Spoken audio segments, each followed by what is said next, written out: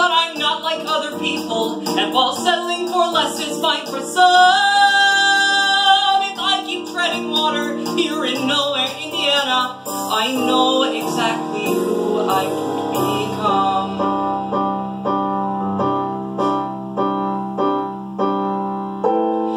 Maybe this whole plan seems just a bit unrealistic.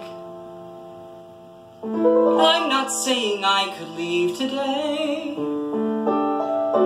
I'll stay another year and save enough to really do this.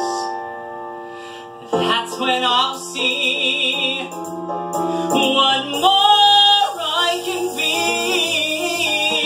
Someday I'll pack up my things and move on.